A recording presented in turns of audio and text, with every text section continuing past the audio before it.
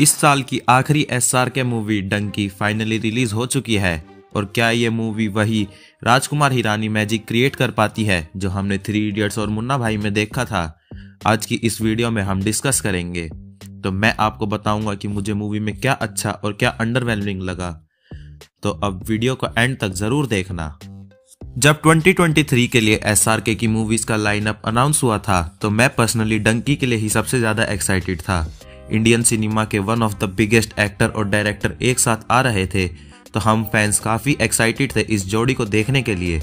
और जब कल मैंने डंकी को देखा तो मेरे अंदर मूवी को लेकर थोड़े मिक्स व्यूज़ हैं। करें मूवी की कहानी पर तो डंकी फोकस करती है एक फ्रेंड्स के ग्रुप के ऊपर, जो कि इंग्लैंड जाना चाहते हैं ताकि उनकी लाइफ सुधर सके।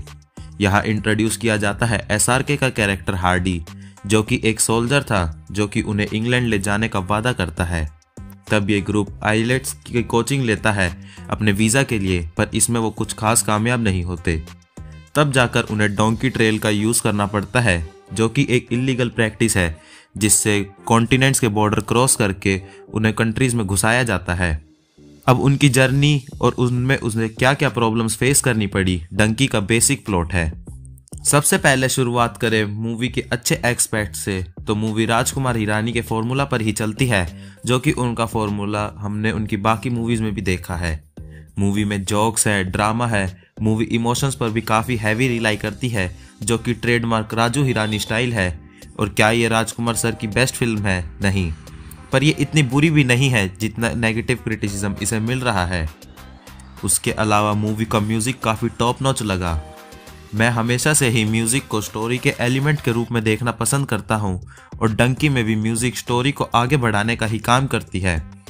म्यूज़िक के थ्रू हमें जो इमोशंस फील करवाए जाते हैं, वो सही काम करते हैं और हमें मूवी से एक इमोशनल कनेक्ट प्रोवाइड करते हैं। बात करें अगर मूवी की कॉमेडी की तो मूवी का फ़र्स्ट हाफ़ कॉमेडी हैवी था, जहाँ की कॉमेडी मुझे ठीक ही लगी। Comedy throughout hit and miss रही है, जहाँ कुछ जगह पर हँसी आती है और कुछ जगह पर जोक मुझे पर्सनली हंसा नहीं पाए। पर कॉमेडी एक बड़ी ही सब्जेक्टिव चीज़ है, क्योंकि मेरे थिएटर में लोग आसपास कुछ जोक्स पर ज़ोर ज़ोर से हंस भी रहे थे। मूवी में वन लाइनर्स का भी यूज़ किया गया है, जो कि भी मुझे हिट एंड मिस ही लगे।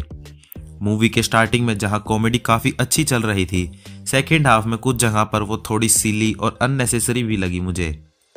फिर आए मूवी की कास्ट पर तो यहाँ हमें कुछ तगड़े परफॉर्मेंस देखने को मिले हैं। राजू सर की फ़िल्मों में खासियत यही रहती है कि साइड कैरेक्टर अननेसेसरी ना होकर मूवी के एसेंशियल पार्ट होते हैं और डंकी में भी यही हुआ है। इन दोस्तों के ग्रुप के पर्सनल डायनामिक्स और मोटिव स्टोरी को इम्पोर्टेंट पार्ट हैं और इन कैरेक्टर्स को इतना स्ट्रॉन्ग बनाती है इनके एक्टर्स की परफॉर्मेंस। तापसी पन्नू का परफॉर्मेंस जहाँ फ़र्स्ट हाफ़ में थोड़ा ब्लैंड फील हो रहा था, सेकेंड हाफ़ में स्पेशली इमोशन सीन्स में उन्होंने कमाल किया है। इसके अलावा ग्रुप में बाली के एक्टर अनिल ग्रोवर का काम मुझे काफ़ी अच्छा लगा। वो सीन जहाँ वो और एसआर के एक साथ थे, उस सीन में जिस तरह से उन्होंने इमोशंस कन्वे किए हैं, वो बिल्कुल परफेक्ट था। क्लियरली जो एक्टर्स मूवी में स्टैंड आउट फील होते हैं, वो थे एसआर के और विक्की कौशल। विक्की का स्क्रीन टाइम मुश्किल से 15-20 मिनट का ही होगा, पर उसमें वो सारी लाइमलाइट ले गए। उन्होंने जो इमोशंस कन्वे करे थे, उसको देखकर लोग रोने पर मजबूर हो जाएँगे। उनका परफॉर्मेंस इतना ज़्यादा शानदार था। आप सुखी के कैरेक्टर को चीयर करते हो, उसके लिए फील करते हो, और ये विक्की कौशल के परफॉर्मेंस का ही कमाल है। शाहरुख खान एज हार्डी भी उनका काफ़ी अच्छा परफॉर्मेंस था स्पेशली वो कोर्ट वाला सीन शाहरुख खान का वो पंजाबी एक्सेंट मुझे थोड़ा एनॉय तो कर रहा था, पर शाहरुख का परफॉर्मेंस उसे बियरेबल बना देता है। उनके कैरेक्टर्स को काफ़ी मौके मिलते हैं शाइन करने के, और एस आर के वहाँ पर काफ़ी अच्छा परफॉर्मेंस देखकर हार्डी के कैरेक्टर को लाइकेबल और एक ट्रस्ट वर्दी कैरेक्टर बनाते हैं। तो ओवरऑल, मैं अपने डंकी को लेकर थॉट्स बताऊँ। तो ये कोई मसाला मूवी नहीं है तो इसमें कोई एक्शन वगैरह नहीं है। मूवी एक राजकुमार हिरानी फ़िल्म है, जो कि एंटरटेनिंग स्वीट है, जिसके साथ साथ ये एक इंपॉर्टेंट मैसेज स्प्रेड करती है। मूवी की कॉमेडी काफ़ी जगह पर हिट एंड मिस तो थी, जो कि आपको हंसाएगी भी तो कभी नहीं। मूवी में इमोशनल मोमेंट्स भी बहुत सारे हैं, जो कि सीधा दिल पर आकर लगते हैं, जैसा राजू सर का स्टाइल भी रहा है। और क्या ये राजकुमार हिरानी का बेस्ट वर्क है? तो नहीं। ये थ्री इडियट्स मुन्ना भाई जैसा कल्ट क्लासिक तो नहीं है, पर फिर भी ये एक फैमिली एंटरटेनर के तौर पर काफ़ी अच्छी मूवी है, जो कि आज के इस मास मसाला मूवीज़ के दौर में स्टैंड आउट करती है।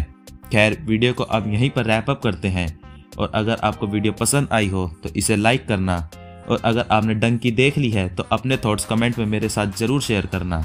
इसी के साथ चैनल को सब्सक्राइब कर लेना। ऐसे ही अमेजिंग कंटेंट के लिए। Struggle with every step,